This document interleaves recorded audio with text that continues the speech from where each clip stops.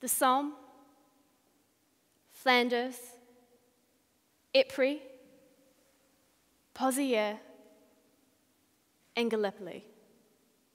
Just some of the battlefields where New Zealanders served in World War I. Of a population of just over 1 million, we sent 103,000 young men and women to serve as nurses and soldiers overseas. 2,779 died at Gallipoli alone. The losses were greater in Western Europe. However, it is, it is Gallipoli that we commemorate for all of the battlefields and all of the courage that these men and women had serving overseas.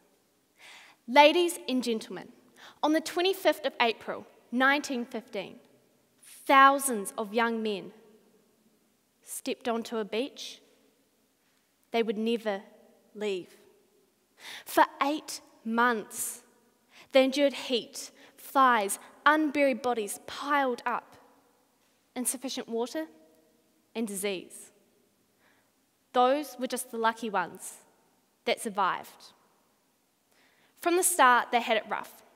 Walter Ledley from the Canterbury Battalion wrote At once, we were greeted with a terrible fusillade of rifle and machine gun fire, which was deadly.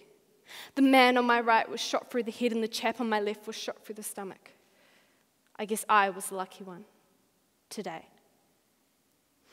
We are meant to hate the enemy.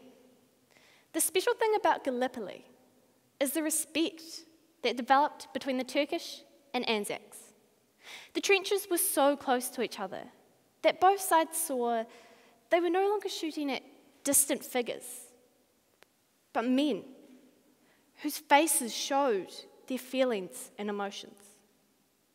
The stench of rotting corpses became too much and were making people sick.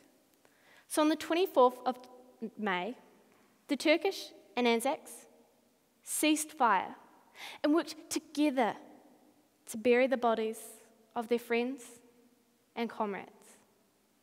They talked, laughed, and for a few seconds forgot that they were meant to be enemies. From that day, they formed something of a connection to the point where they'd throw gifts back and forth between trenches. The Turkish would throw over rice, and in return, the Anzacs would throw over bully beef, which the Turkish would taste and then return. That respect they had was never lost. War is a wretched thing, and yet it can bring out the best in people. This battleground made everyone into heroes. And I do mean everyone. He tō. Bravery has many resting places. We all assume that the only heroes are the ones that have medals or were famous for doing something courageous. Don't forget the ordinary man. He was also courageous. He also put his life on the line every day. My great grandfather, Nigel Heslop, was a water finder at Gallipoli. This was an, an incredibly important job. With the heat and heavy uniforms, water was crucial. My great grandfather saved many men from dying of dehydration. Therefore, to me, he is a hero. He didn't talk much after the war. But our family knew he had done something heroic for those men, as many other soldiers would have also done something heroic for their comrades. He wasn't wounded, but if he was, I would like to think he'd be looked after, like so many others, by women such as Matron Brooks and nurse Margaret Rogers on the Maheno. This was a hospital ship sent from New Zealand to Gallipoli.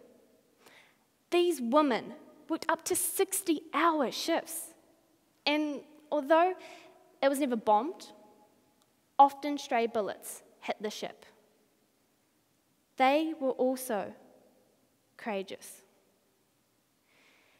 These men and women don't have names in history books, they're remembered by their families.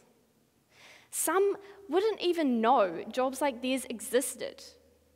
And yet, they have more courage, willingness, and determination than anyone I know.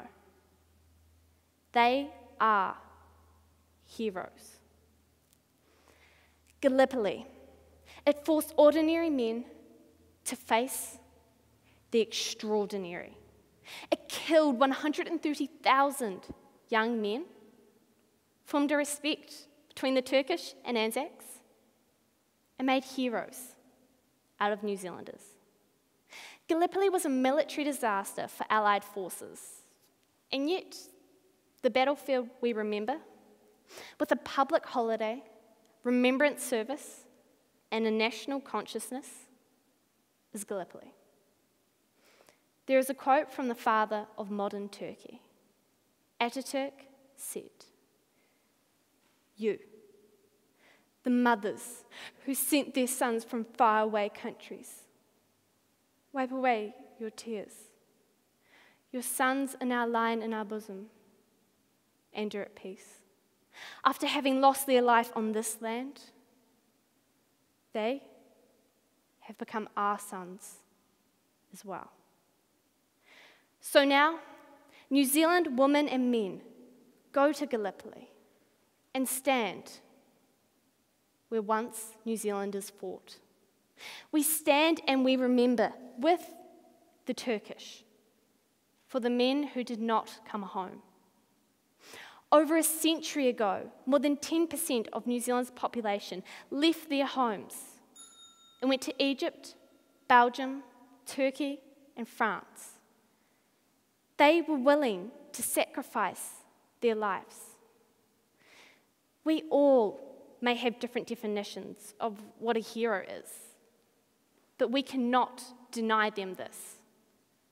They were, they are they will always be heroes of our nation.